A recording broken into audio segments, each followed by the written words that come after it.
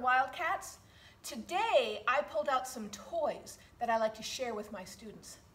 I do wish you were in my classroom with me.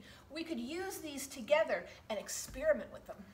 So I have some toy cars, and I have some wooden blocks, and then I have this big, flat piece of wood.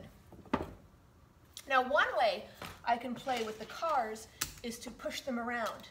Push, push, push. And by pushing on them, I can make them drive around. Push, push, push. But can I make them move without pushing on them? Hmm. I can if I use these blocks and the piece of wood.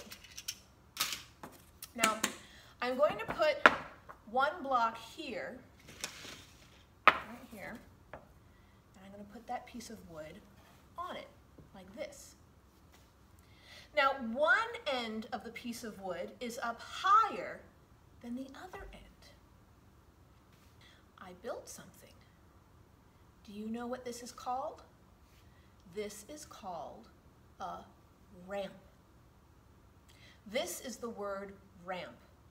This is what it looks like. The letters are R, A, M, P, ramp. I can use this ramp when I'm playing with my cars because now I can take a car and I can put it at the top of the ramp and just let it go.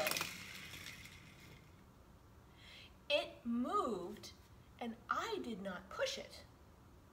I did not push the car to make it go down the ramp. It just went. But how does that work? There must be some force pulling it down the ramp if I am not pushing it. What is pulling on the car? Pulling it down the ramp. Well, what is pulling on you and me right now, keeping us down on the ground? Why don't we just go floating up into the air? Something's pulling us down. Do you know what's pulling us down? There is a very special force, a very important force called gravity.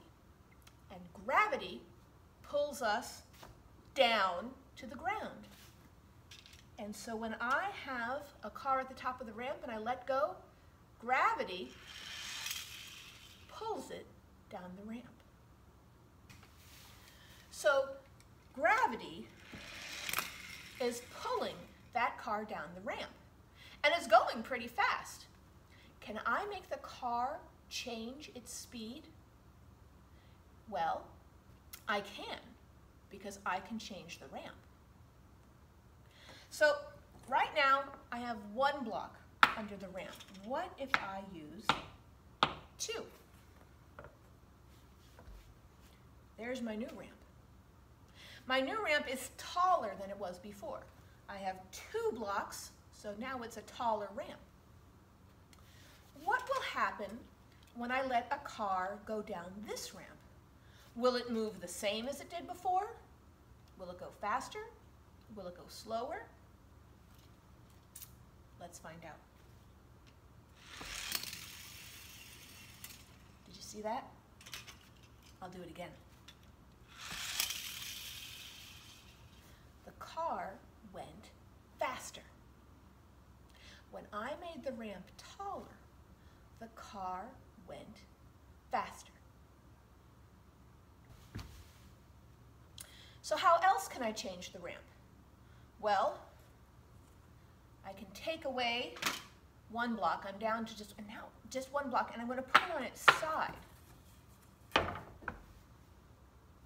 I made the ramp shorter.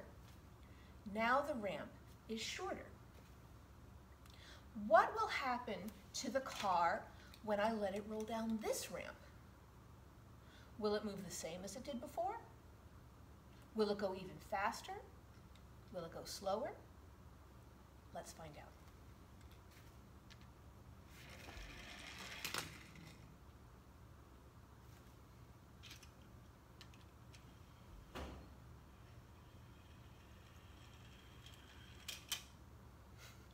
the cars are going a lot slower. So when I made the ramp shorter, I made the cars go more slowly. Now, I have a challenge for you. I want you to build a ramp that you can roll something down. If you have a toy car, you can roll that down the ramp. But you don't need to have a toy car. You just need something round. You could use a marker or a pencil. They're round, they're roll. Um, you could use a can of beans or a roll of tape or a ball. Anything that will roll, you can use that.